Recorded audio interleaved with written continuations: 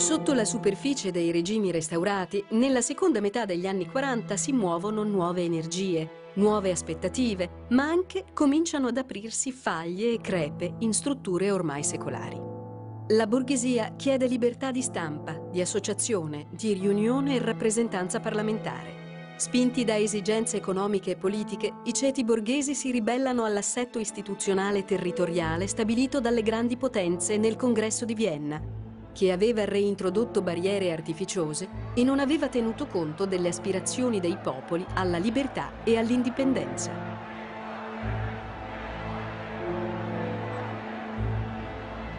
Gran parte dell'Europa è così percorsa da un diffuso malessere sociale.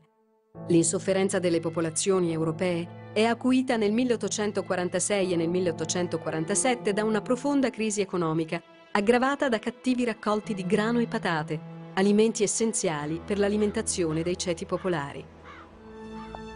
Questo è il clima di tensioni politiche, economiche e sociali in cui maturano le insurrezioni del 1848.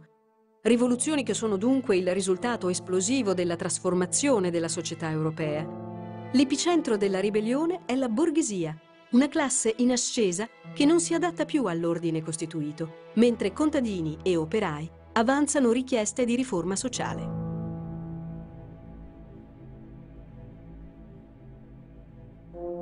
In Italia, alla vigilia del 48, due correnti politiche si contendono la direzione del processo di cambiamento, i democratici e i moderati. I primi si riconoscono in larga misura nelle posizioni di Giuseppe Mazzini, il cui obiettivo è una rivoluzione per la creazione di una Repubblica unitaria e democratica con il consenso e l'apporto dei ceti popolari. I secondi respingono la via rivoluzionaria e puntano alla concessione di riforme concordate pacificamente tra principi e popoli e alla creazione di una confederazione di Stati con l'eliminazione delle barriere doganali per favorire gli scambi e la nascita di un unico mercato nazionale. Dopo alcune proteste e manifestazioni stroncate con sanguinose repressioni, il 12 gennaio 1848 l'insurrezione di Palermo inaugura la stagione delle rivoluzioni, dopo che pure a Milano vi erano stati morti e feriti per lo sciopero del fumo, deciso dai cittadini per danneggiare l'erario austriaco. A Napoli re Ferdinando, confuso, incerto, pauroso, credeva sentirsi traballare il suolo sotto i piedi. Prese una determinazione che per allora lo salvava e accordò la Costituzione. Così il passaggio alla monarchia costituzionale avviene poco dopo negli altri stati della penisola, con la concessione degli statuti nel Granducato di Toscana, nel Regno di Sardegna e nello Stato Pontificio. L'Italia è in fermento.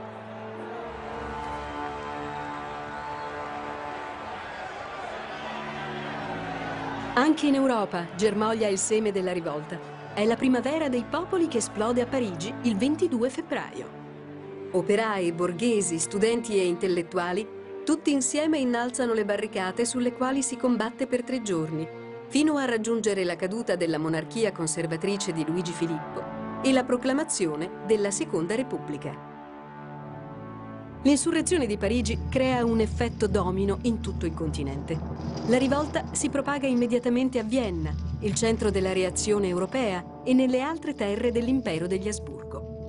La rivoluzione dilaga anche nell'area tedesca, con un accentuato carattere liberale e nazionale. La reazione a catena coinvolge anche il Lombardo-Veneto, imprimendo una nuova accelerazione alla situazione italiana.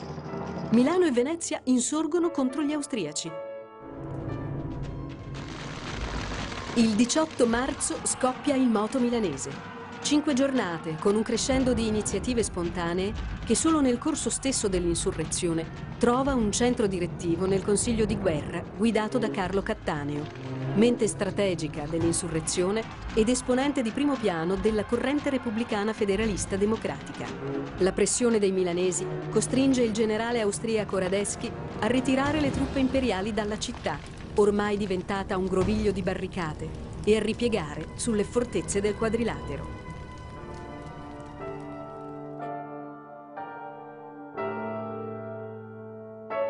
Il 23 marzo del 48 a Torino una grande manifestazione invoca la guerra all'Austria.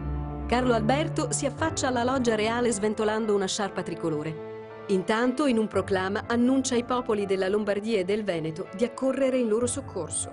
Ha inizio la prima guerra d'indipendenza. Le esitazioni strategiche favoriscono la controffensiva austriaca e le sconfitte sul campo mettono in crisi il progetto di Carlo Alberto, portando alla luce tutte le sue incertezze e contraddizioni. I volontari, per lo più di ispirazione mazziniana, rifiutano però di abbandonare le armi.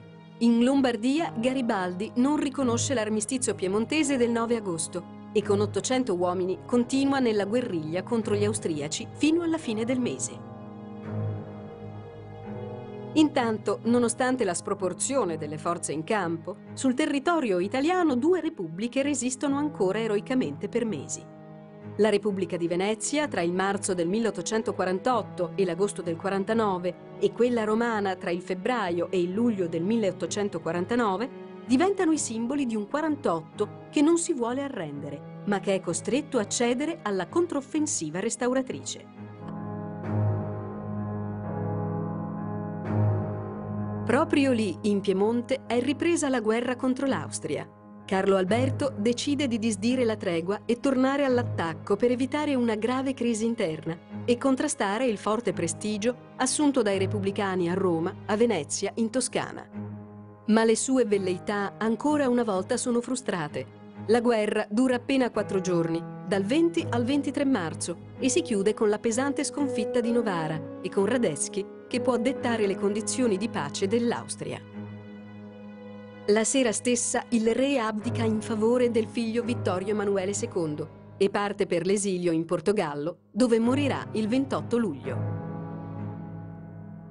Nonostante l'insurrezione di Brescia per dieci giorni contro gli austriaci, l'Austria può cantare vittoria su tutti i fronti e con essa l'intero blocco dei governi conservatori.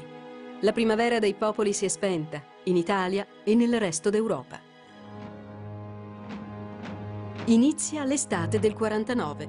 La parola passa ai cannoni dell'esercito e alla repressione. Si chiude definitivamente l'anno dei portenti. Si chiude il 48 delle rivoluzioni borghesi per l'indipendenza nazionale e le libertà politiche. E si chiude il 48 delle rivendicazioni delle masse diseredate.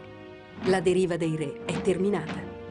Ad eccezione della Francia, dove resiste la Repubblica, che però ha imboccato la strada che porterà all'impero di Napoleone III, quasi tutti i sovrani spodestati tornano sui loro troni, convinti di poter riportare indietro le lancette della storia. Il 48 segna comunque una svolta epocale. Tornare indietro è impossibile, in Europa, in Italia e nel Piemonte. Il regno di Sardegna, costretto ad ingoiare l'amaro calice della pace con l'Austria, non rinuncia allo statuto albertino e si presenta all'inizio del nuovo decennio come uno Stato costituzionale, ancora da rinnovare in profondità, ma anche luogo di confluenza di migliaia di esuli da tutti gli stati italiani e con nuovi schieramenti politici capaci di esprimere un ceto dirigente finalmente riformatore.